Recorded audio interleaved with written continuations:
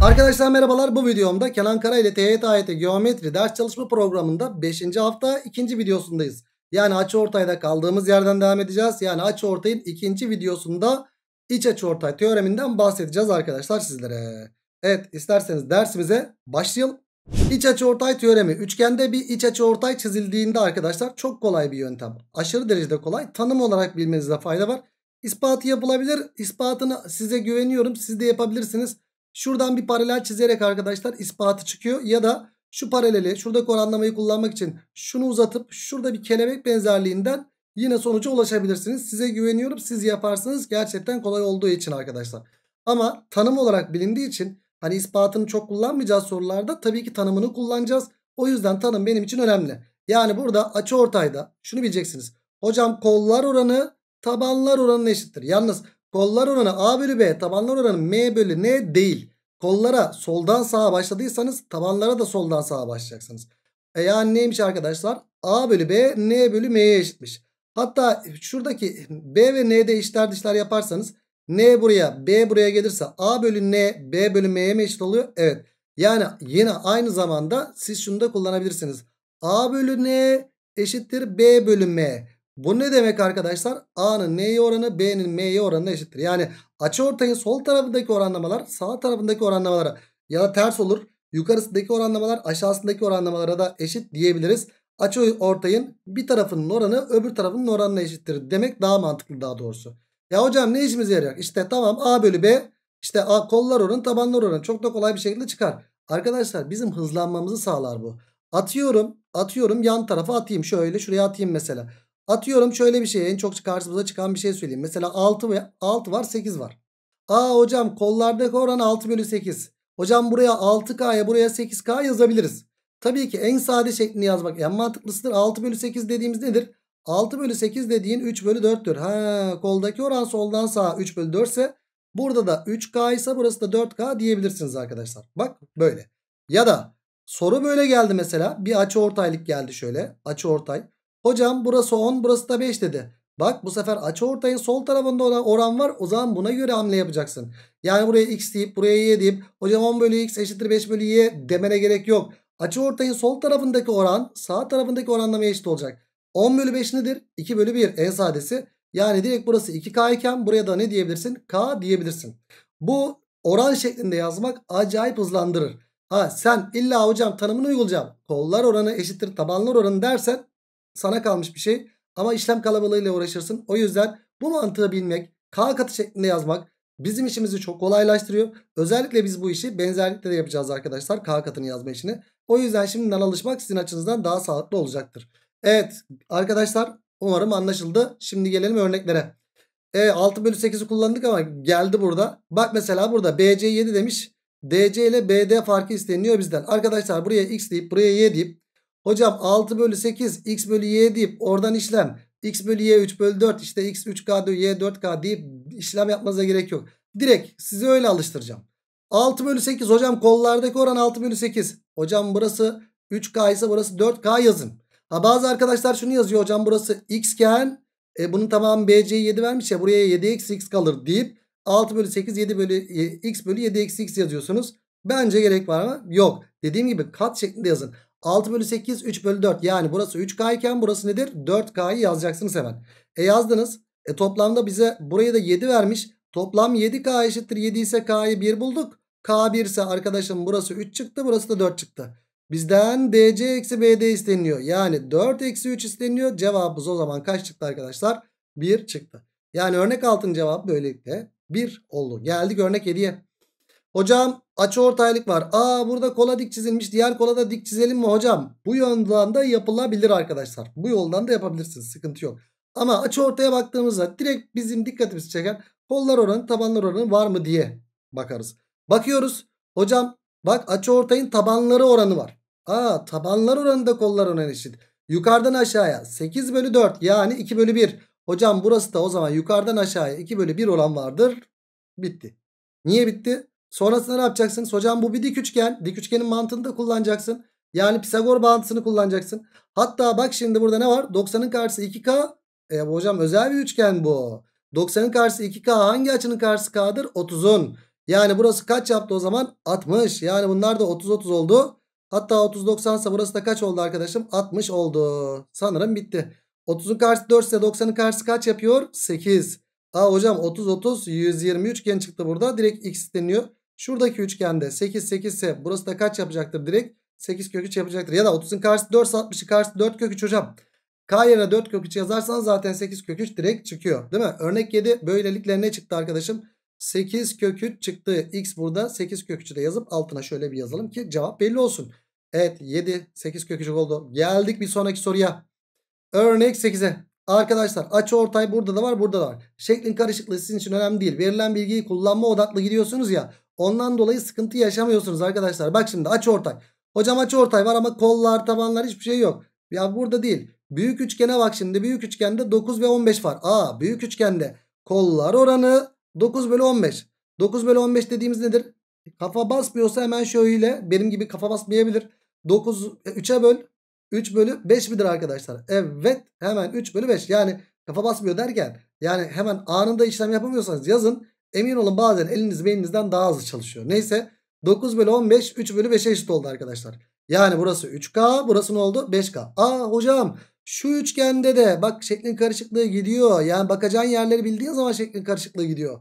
Verilen bilgileri kullanılır kullanmak işte burada işe yarıyor. Nereye bakacağını gösteriyor sana. Hocam 3'e 5 oran var. Tabanda e o zaman burada kolda da 3'e 5 oran olacak. Yani burası 3A ise yani 3K'ya 5K yazmayalım eşit olmayabilir çünkü. Burası 3A iken burası ne olacak arkadaşlar? 5A olacak. E adam bize ne demiş? CD uzunluğu 16 demiş. Hocam 5A eşittir 16 ise A'yı buradan 16 bölü 5 buluruz. Ve bizden X eşittir 3A isteniyor. O da 3 çarpı 16 bölü 5'ten 48 bölü 5 çıkar arkadaşlar. Yani cevabımız böylelikle 48 bölü 5 oldu mu? Oldu arkadaşım. Tamam. Evet kollar oranı tabanlar oranı yaz. Tabanlar oranı kollar oranı yaz. Mutlaka daha kolay çıkıyor daha seri çıkıyor. Geldik örnek 9'a. Şimdi dikkat. ABC bir üçgen bir de açı ortaylıklar falan filan verilmiş. E ne yapacağız?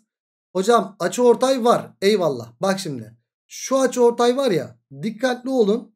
Yani bu açı ortay sadece ve sadece büyük üçgenin açı ortayı değil. Hocam bu üçgenin de açı ortayı gördün mü? Ya da bu açı ortay sadece büyük üçgenin açı ortayı değil. Sadece buranın açı ortayı değil. Aynı zamanda şu üçgenin de açı ortayı değil mi arkadaşlar? Evet. Yani şu şekilde verilenlere bakarak hangisinde işimize yarayacak onu bulmalıyız. Şimdi adam bizden FD bölü FB istiyorsa arkadaşlar bir kere FD bölü FB isteniliyorsa şu üçgende benim açı ortayla ilgili bir işim olacak. Kesin net. Yani sen şu açı ortayı kullanmak zorundasın arkadaşım. Ha, bunun için neyi bulmalısın? Şuradaki oranlamayı bulmak için hocam tabanlar oranı kollar oranına eşittir. Şuradaki şeyi bulmalısın. Kenarı bulmalısın. Hani bazen de sorularda böyle anlayabilmek için geriye doğru da işlem yapabilirsin. Peki senin işin ne oldu şimdi? Buradaki oranlamayı bulmak yani şurayı bulmak. E burayı bulmak için ne yapacaksın? Hocam burada da bak şöyle bir açıortay var. Büyük açıortay. Ama öncelikle ne var? Şurada 5'e 3 oran var. Şu büyükte de açıortay değil mi arkadaşlar? Bana AC kenarı da lazım olacak. E hocam büyükte açıortay bu. Büyükteki açıortaya bakacak olursak hocam kollar oranı tabanlar oranına eşittir. Şu bölü şu, şu bölü şuna eşittir. Ya da dikkat edin 10 bölü 5 yani yukarıdan aşağı 2'ye 1 oran var. Hocam 2'ye 1 oran olacak deyip direkt buraya 6 yazabilirsiniz. Direkt yazabilirsiniz. Ya yazın da artık arkadaşlar. Ya da hocam 5'e 3 oran var. Burası 5K iken buraya 3K diyebilirsiniz. A 5K 10'sa hani 5K 10'sa K2 3K'da kaç çıkar o zaman 6 çıkar dersiniz. Ama dikkat edin 2'ye 1 oran var. E o zaman 2'ye 1 orandan üçgen 6 olacak diye direkt söyleyebiliriz. Her türlüsünü gösterdim. Sıkıntı var mı? Yok. E şimdi ne yapacağız hocam? Şuradakini bulmam lazım. Yani şey, benim şu açı ortayı kullanmam lazım. Bu açı ortaya baktığım zaman buradaki oran kaça kaç arkadaşlar? 10 bölü 8 koldaki oran. 10 bölü 8 dediğimiz nedir? 5 bölü 4'tür. Hemen şuraya 10 bölü 8 yazayım. 5 bölü 4 olduğunu görün arkadaşlar. Yani burası 5 enken K'yı kullandım diye K'lı yazmayalım. 5 enken burası nedir arkadaşlar? 4 n'dir. Aa hocam bunun tamamı 9 n. 9 n eşittir 6 ise n buradan 6 bölü 9. 3'e böl 2. 3'e böl 3. 2 bölü 3 oldu. Benim zaten şurayı bulmam lazımdı. O zaman burası kaç çıktı arkadaşım? 10 bölü 3 çıktı. Şimdi senden ne isteniyor? FD bölü FB. FD bölü FB. X bölü Y isteniyor. Hocam burada koldaki oran tabandaki oranlamaya eşittir. Dikkat edin. 10 bölü 3'e 10. Yani 1'e 3 oran yok mu? 3 kat değil mi arkadaşlar burası? E 1'e 3 oran vardır. Direkt çıktı aslında. FD bölü BD direkt 1 bölü 3 çıktı ama hadi biz uzatalım işi. Yani koldaki oran 10 bölü 3 bölü 10 eşittir. X bölü Y değil midir gençler? Evet. E buradan onlar da gitti. X bölü Y buradan ne geldi arkadaşlar? 1 bölü 3 geldi. FD bölü FB isteniyor bizden. E zaten cevap da bu yaptı arkadaşlar. Tamam. 9. sorunun cevabı da bu. Bazen şunu anlayamıyoruz. Bunda bir sıkıntı yaşıyoruz. Ama bakın bu da kolaydır. Bir açı ortay bazen şu üçgende de büyük üçgende de kullanabiliyoruz. Ya da şu açı ortayı bazen büyük üçgende ya da şuradaki küçük üçgende de kullanabiliriz. Şuradaki oranlama istenmiş olsaydı BF'nin de açı ortaylığını kullanacaktım arkadaşlar. Lütfen buna dikkat edin. Bu açı ortay sadece büyüğün açı ortayı değil. Tamam. Evet örnek 9'u böylelikle 1 bölü 3 bulduk. Geldik örnek 10'a. Ne var gençler burada? Şimdi soruya baktığımız zaman 8 verilmiş, 9 verilmiş, 4 verilmiş. Ve bizden ne isteniyor? X isteniyor. Şurası isteniyor. Hmm. Arkadaşlar öncelikle verilen bilgilere bakacağız. Aa hocam dik tabanı iki eşit parçaya bölmüş. Ek çizim mi yapsam şöyle tabanı iki eşit parçaya bölse. Kardeşim bir yapmadan önce verilen bilgilere bak. Verilen bilgilerde daha sonuca ulaşamıyorsan ondan sonra ek çizimi düşünebilirsin. Öncelikle şuraya bakalım. Hocam burası 90 ya. Burası da 90 derece değil mi? Evet. Aa hocam şu üçgende de bakın şu üçgende ne çıktı arkadaşlar? Direkt çıktı. Ek çizim yapmamıza da gerek kalmadı. Hocam dik tabanı iki eş parçaya böldü. Yani ne var burada? İkiz kenar. Ama sadece ikiz kenar olduğunu yazıp da diğer eksi parçaları tamamlamazsan soru yine çıkmaz. Hocam ikiz kenar, taban, yükseklik, kenar ortay. Bu aynı zamanda açı ortay diye midir? Evet. E sonra ne olacak? Hocam bu da bakın şu açı ortay sarı üçgende açı ortay ama aynı zamanda büyük üçgenin elemanı istenildiği için bu aynı zamanda büyük üçgenin de açı ortayı değil mi? Aynen öyle. E burada da kollardaki oran tabandaki oranlamaya eşittir. Yani 8 bölü 12 eşittir. Eşittir x bölü 8 bölü 12 yukarıdan aşağıya x bölü 9'a eşittir deyip işler dışlar yapabilirsiniz. Ama ben 8 bölü 12'yi gördüysem 8 bölü 12 4'e bölsen 2k 4'e bölsen 3k derim böyle. Bak daha kolay çıkar. 2k 3k 9 sa k'yı buradan 3 bulursun. E senden 2k isteniyor cevap 6 çıkar. Yani sen buradan da cevabı yine İçler dışlar yapsan 72 bölü 12'den zaten 6'yı bulursun da. Olsun hani kollar oranı tabandaki oran 2K 3K yazmaya da alıştırın kendinizi. Çünkü bizler hep böyle yapıyoruz. E biz böyle yapıyorsak vardır bir bildiğimiz sen de böyle yap kardeşim. Tamam. 10. soru 10. örnek 6 oldu geldik 11. örneğe. Şimdi gençler burada bir şeyler verilmiş. Verilmiş değil mi bir şeyler? Hadi bakalım. O verilmişlikleri sen bir kullanır mısın? Lütfen sen bir çözmeye çalışır mısın? Allah aşkına. Bakalım aynı mı çözdük farklı mı çözdük? Sen ne düşündün ben ne düşündüm? Onu çok merak ediyorum. Yorumlarda bekliyorum. Yani e, dedik ya verilen bilgileri kullanabildiğiniz sürece verilen bilgilerin sırası değiştiği sürece çözüm yöntemi de değişebiliyor diye size hep söylemiştik arkadaşlar. E bakalım siz nereden çözeceksiniz? Hadi bakalım siz çözün. Ben de çözmeye başlıyorum arkadaşlar. Şimdi gençler Bakın ben burada neyi kullanırım? Öncelikle onu söyleyeyim.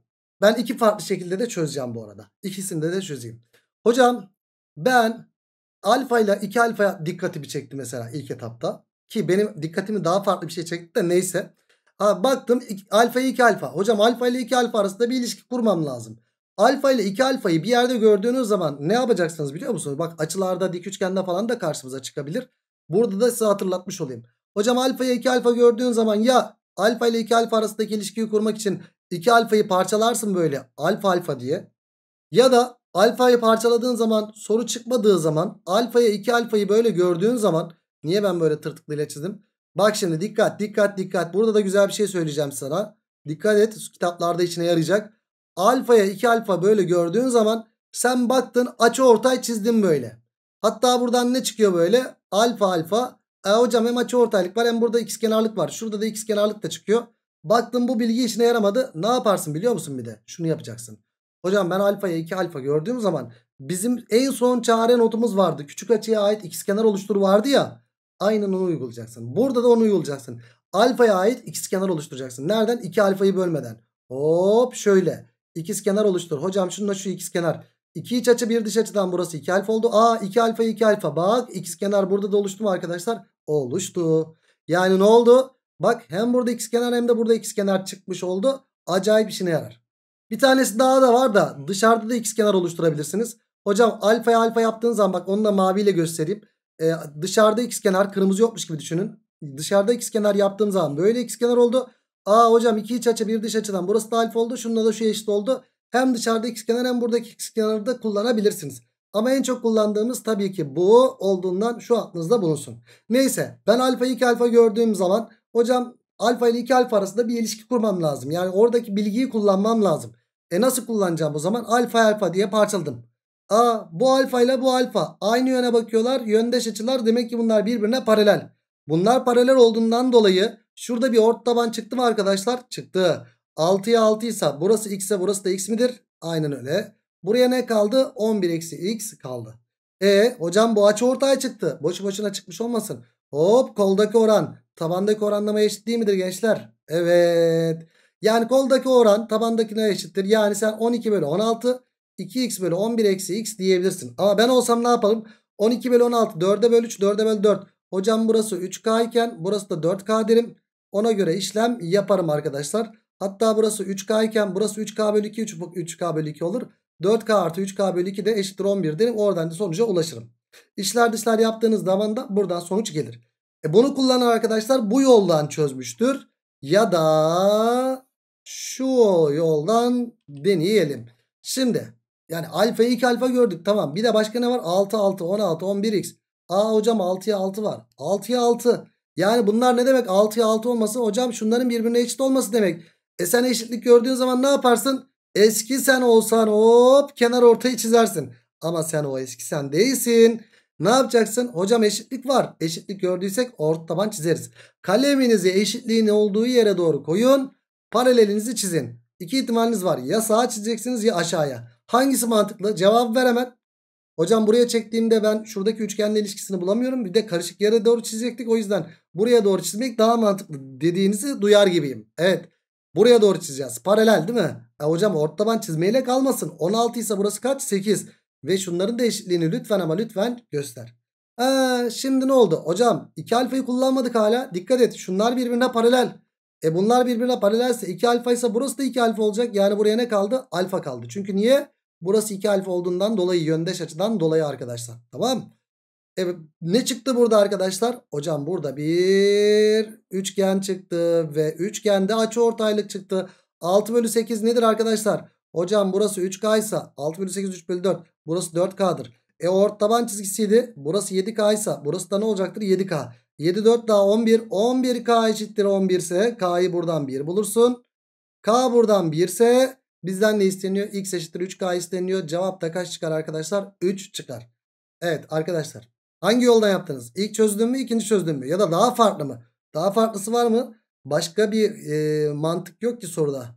Başka bir çözüm yöntemi vardır. Mutlaka bir tane daha vardır ama varsa da yazın yorumlara. En belirgin yöntemler ya böyle alfayı 2 alfayı kullanmak ya da buradaki eşitliği kullanmak arkadaşlar. E buradaki eşitliği kullanınca da sonuca bu şekilde ulaştık. Tamam Evet cevabımız böylelikle çıktı. 3 çıktı. Yok 3K. Evet K'yı 1 bulduk. 3 çıktı arkadaşlar. Geldik bir sonraki soruya. Ana ne diyor? Hiçbir şey yok. Soruyu oku bakayım ne diyor? Şekilde, şekilde kesişen 3 yolun krokisi verilmiştir. Bu yollar ABC biçiminde bir üçgensel bölge oluşturmuştur. AB 20, BC 55 demiş. B'den C'ye yol üzerinde hareket eden bir kişi 25 metre gittiğinde bir eleman 25 metre gitmiş. 25 metre gittiyse ne kadar kaldı arkadaşlar buraya? 30 metre mi kaldı? Evet. B'den C yol üzerinde hareket 25 metre gittiğinde AB ve AC yollarına eşit uzakta oluyorsa. He. Şimdi buraya kadar gelmiş. Buraya kadar geldiğinde hem AB'ye hem de AC'ye eşit uzakta oluyormuş. Uzaklık dediği nedir arkadaşlar? Dik uzaklıkta değil mi? Yani hem buraya hem de buraya uzakları birbirine eşitmiş. Bak soruda ne deniyorsa şekilde göster. Sonra çıkıyor. Hocam bu dikle bu dik neymiş birbirine eşit. Aa bu dikmeler nerede birbirine eşitti?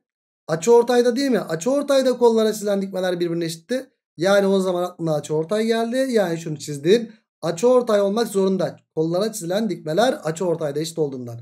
Hocam o zaman bu bir açı ortay olmak zorunda. E bitti. E madem bu açı ortay doğrusu oldu. 25'e 30 varsa ya da açı ortayın sol tarafında ne var? Hocam 2'ye 1 oran var. Sağ tarafında da kafadan yapıyorum artık. İstersen buraya x deyip 50 bölü x 25 bölü 30 diyebilirsin. Ama artık buna alış. Hocam 50'den 25'e 2'ye 1 oran var. 2'ye 1 oran olacak. O zaman x buradan ne gelecek arkadaşlar? Direkt 60 gelecek. İşte şuradaki oranlamadan dolayı arkadaşlar.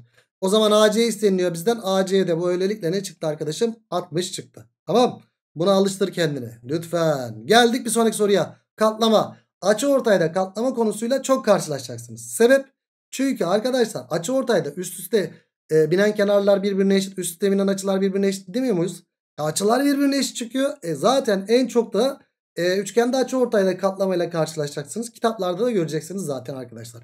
Şimdi burada katlamadan bahsetmiş ama ÖSYM hep bu zamana kadar katlanmış şeklini gösterdi. E, biz buna da alışkın olalım. Katlama çizgisini göstermez. Bize ya böyle şey yaparsa katlamayı size hayal ettirirse işte onun ilk adımlarını da burada atıyoruz. Bakalım ne diyor? ABC üçgeni biçimindeki bir karton AD boyunca katlandığında AD boyunca katladığında C noktası AB'nin orta noktasına geliyormuş. Bak AB'nin orta noktasına geliyormuş C noktası. Her şeyi kullanacaksın. Sen bunu böyle katladın. Hop üçgenin böyle mi oldu? Evet düzgün çizeyim. Hop şöyle oldu. Arkadaşlar bu üçgen buraya geldi. Bak katlanmış halini biz kendimiz oluşturduk. Katlamalarda ne diyorduk arkadaşlar? Yani C noktası buraya geldi. Buraya da bir C üssü diyelim isterseniz. Katlamalarda evet şu üçgenle şu üçgen aynı üçgen. Üst üste binen kenarlar birbirine eşit. Üstte binen açılar birbirine eşit. Hocam üst üste binen açıların birbirine eşitliğini gösterelim. Hop şu açıyla şu açı birbirine eşit. Hatta bu açıyla da bu açı eşit. Karışık olan yerlerde pek yazmıyoruz ama. Hatta bu açıyla da bu açı eşit ama kullanmayacağız gibi hiç göstermeyelim bile. E hocam ne yapacağız? Bu açı ortayda işimize yaramayacak gibi ama neyse. Hocam bir de uzunlukla alakalı bir şey verilmiş. Tam burası orta noktaya verilmiş. Siz buradaki bilgiyi okuyorsunuz. Orta noktayı hiç kenar kullanmıyorsunuz. Arkadaş orta noktaysa o kenarı kullan. Madem burada kenar kullanıldı. Katlamalarda üst üste veren kenarlarda birbirine eşit değil miydi? Evet. Yani şu kenarla da bu kenar eşit olacak mı? Olacak. E hocam burası ne oldu? Burası A iken burası da A burası da A. Burası ne oldu? 2A oldu. Aa bak bu açıortay doğrusu oldu büyük üçgende. Açıortayda kollar oranı tabanlar oranı eşit olmayacak mı? Olacak. 1'e 2 oran mı var burada? Evet. Yani burası da K iken burası 2K mı olacak o zaman? Aynen öyle. Şunu farklı bir kaleme. Üçüncü bir adım olduğu için K 2K. Evet açı ortayda kollar oranı tabanlar oranı eşit oldu. BC'yi de bize 12 vermiş. 12 eşittir. E, BC 12 yani 3K'ya eşitmiş arkadaşlar BC. Buradan K'yı kaç buluruz? 4 buluruz arkadaşlar. E, K 4 ise BD uzunluğu isteniyor bizden. BD uzunluğu da 2K'ya eşittir. 2K'da kaça eşit oldu arkadaşım? 8'e eşit oldu. Yani cevabımız böylelikle 8 çıktı. Geldik örnek 14'e. Evet bazen de böyle böyle işte çemberin merkezi falan filan derler. E biz bunu üçgende açıda gösterdik. İyi ki göstermişik. Açı ortayda falan da kullanıyoruz bu arada. İşte çemberin merkezi neydi arkadaşlar? İç açı ortayların kesim noktasıydı. İşte çemberin merkezi görünce evet bazılarını şunu çiziyor. Hocam içeriden teğet çember işte deyip bunu çiziyorsunuz. Yok çizme. İşteğet çemberin merkezini gördüğünde ilk önce o noktadan geçen açı ortay olmasını kullan. Hocam bu işteğet çemberin merkezinden geçtiği için açı ortaydı deyip göster bunu. Sonra ID bölü IC'yi vermiş. Hocam burası 2K iken buraya ne vermiş? 3K vermiş. Bak 2 bölü 3 vermiş burada. E hocam bu açı ortay ama bu açı ortay ne kolda oran var ne tabanda oran var. Kullanamıyorum. O zaman hala açı ortayı kullanamıyorsam işteğet çemberin merkezi verilmiş ya. İşteğet çemberin merkezinden geçen açı ortay dedik ama yani o zaman şunu da çizelim. A köşesinden gelen de açı ortay olmaz mı? Hatta B köşesinden gelen de açı ortay olmaz mı arkadaşlar? Çünkü işte çemberin merkezi orası. Evet hocam yani burası da açı ortaydır. E hocam burası da açı ortaydır. A yukarıdaki üçgene baksan ne var burada? Açı ortay var. 2'ye 3 oran var tabanda. Hocam burada da o zaman 2'ye 3 oran olacak. 2A iken burası ne olacak? 3A olacak. Hocam aşağıdaki üçgende de aynı şekilde 2'ye 3 oran var. Bu açı ortay doğrusu. O zaman burası da 2B'ye 3B midir? Aynen öyle. İşte çemberin merkezini kullandık. Bu soruda kullandık. Şimdi niye isteniyor bizden? Ne verilmiş bir de AB. Ali Bey uzunluğu. Oo bak sana ne verilmiş. Hocam 2A artı 2B'yi 8 vermişler. Buradan A artı B ne gelir? 4 gelir. Senden ne isteniyor? ABC üçgenin çevresi. Bak bakayım çevreye şimdi. Hocam A'dan 5 tane B'den de 5 tane var. Çevre dediğimiz 5A artı 5B olduğundan 5 parantezinde A artı B olacağından A artı B'de 4 olduğundan 5 kere 4 kaç çıktı? 20 çıktı. İşte bu şekilde arkadaşlar. İşte çemberin merkezi bu şekilde kullanılır. İçeriden teğet çizilmez. Dikkat dikkat. Geldik örnek 15'e yani bu videonun son sorusuna. Şimdi ne demişler? BC'ye 12 vermişler arkadaşlar. I noktası yine açı ortayların kesim noktası demiş ve paralellikler de verilmiş. Şöyle şöyle şöyle şöyle. Hocam I madem işleyeceğim benim merkezi. Ee, A'dan gelen, B'den gelen ve C'den gelen ne olmak zorunda arkadaşlar? Açı ortay olmak zorunda. Yani buradan gelen açı ortaydır. Hocam buradan gelen de açı ortaydır. Yani bu da açı ortay. E hocam buradan gelen de ne olmak zorunda? Açı ortay olmak zorunda. E başka ne yapacağım? Paralellikleri kullanmak zorundayım. Şimdi benzerlikte göreceksiniz zaten de e, dikkat edin. Şu paralelliği nasıl kullanacaksın? E paralellik var. Açılar da var burada. Açılarla ilgili eşitlik var. Ha, hem paralellik hem açılar böyle aklınıza hem paralellik hem de açılar deyince doğru açı gelmez mi arkadaşlar? Değil mi? Beyniniz oraya gitti mi gitti. Hocam bir z kuralı var burada. Oo z kuralı hemen nokta açısı burası. Hocam a ise burası da a'dır. Hocam burada da şu paralelliği kullanalım. Burada da bir z kuralı var. Bak çizgi açısı yaptı burası da. Yani burası b ise burası da b'dir. Ve sonra ne geliyor arkadaşlar? Sonra ne geliyor? Bunun tamamı 12 idi. Buraya da c diyelim o zaman. Hocam A, C, B yani A artı B artı C'yi kaç bulduk arkadaşlar? 12 vermiş zaten bize. Bizden IKL üçgenin çevresi isteniyor. Çevreye bakacak olursak hocam bu üçgenin çevresi A hocam bu da A artı B artı C değil mi? Aynen öyle. E zaten A artı B artı C'yi 12 bulmuştuk. Yine bizden A artı B artı C isteniyor. Yine 12 çıktı arkadaşlar. Yani cevabımız böylelikle 12 oldu. Ve böylelikle iç açı ortayı bitirdik.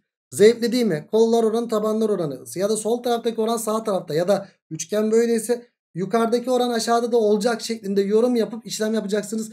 Bence en zevk alarak çözeceğiniz e, sorular bence bu açıortay konusunda geçecektir. Bence. Bilmiyorum ben çözerken çok hızlı bir şekilde çözüyorum. Konusunu anlatırken de çok hızlı bir şekilde anlatılıyor normalde. Derste falan. E, zevkli de sıkıntı yaşamazsınız. Dik üçgenler falan filan e, burada yok. Açı ortaya Tabi dik üçgenin olduğu yerler ilk kısımda da vardı ama e, genelde açı ortayın kollar oranı tabanlar oranı. Pisagor bağıntısı olan yerlerde çıktı tabi dik üçgenli sorularda. Evet gerçekten zevkli rahat bir şekilde yaparsınız. Kaç şeklinde yaparsanız genelde sıkıntı yaşamazsınız. Tamam gençler? E o zaman biz ilk videoyu ikinci videoyu bitirdik açı ortayda. O zaman ne diyoruz? Bir sonraki videoda açı ortayın devamında yani dış açı ortay teoreminde görüşmek dileğiyle kendinize iyi bakın. Hoşçakalın.